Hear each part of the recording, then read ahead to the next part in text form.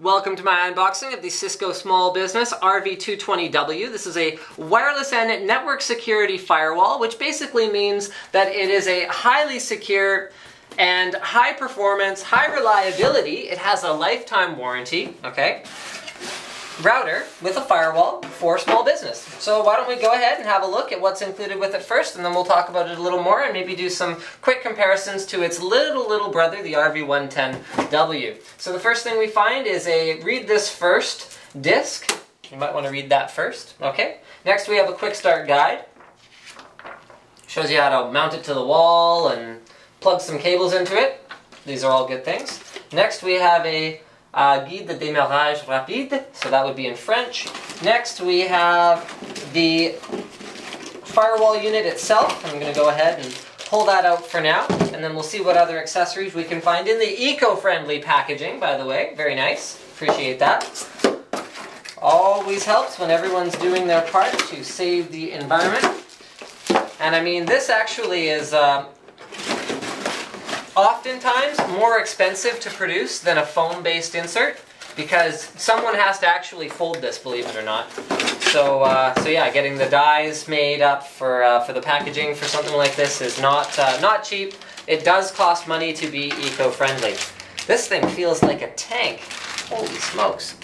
All right, so the RV220W. Let's have a look at the unit itself before we talk about what makes it special. So I'm going to throw these antennas on here on the back. Comes with two antennas. These are user replaceable, so you could swap them out for other antennas should you desire. Okay, so the front of the unit here. We have a power LED, we have a diagnostic LED, we have a demilitarized zone indicator, we have a wireless indicator. We've also got indicators for the speed of the various LAN ports. So these go up to gigabit and the WAN port is also gigabit. What part of what makes this guy special is it is capable, according to Cisco's spec, of delivering up to 800 megabit per second throughput between the WAN and the LAN ports. So what that means is you could have an internet connection that is almost gigabit down and you would be able to fully, almost fully, utilize it using a router such as this one.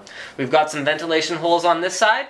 We've got some ventilation holes on the other side here. On the bottom we find some rubber non-slip feet as well as options to mount it on the wall either this way or this way, whatever you should desire. And then on the back we find a power switch, our power input, which, did I not even show you the power adapter and the ethernet cable it comes with? Sorry about that guys, there they are our four LAN ports, so as I mentioned before, gigabit, and our gigabit WAN port, as well as a hard reset button. Now this guy also has 802.11, uh, 2.4 gigahertz, 5 gigahertz, dual band wireless N, so you can obviously use it for wireless, although the, the performance you're going to get out of this is going to be predominantly wired because it is a gigabit router. But if you are using wireless in your office, it can be handy to have that option as well. And then let's talk a little bit about some of the other features that it has that make it neat.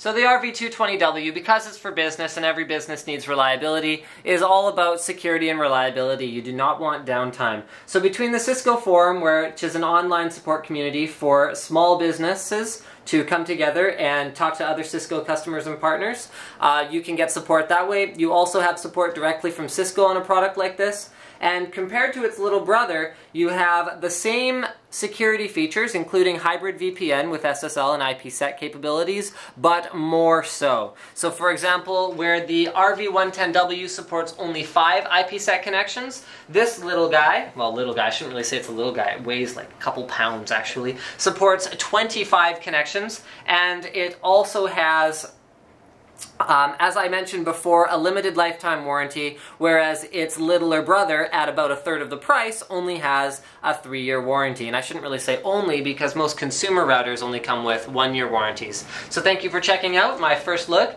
at the RV220W. Don't forget to subscribe to Linus Tech Tips for more unboxings, reviews, and other computer videos.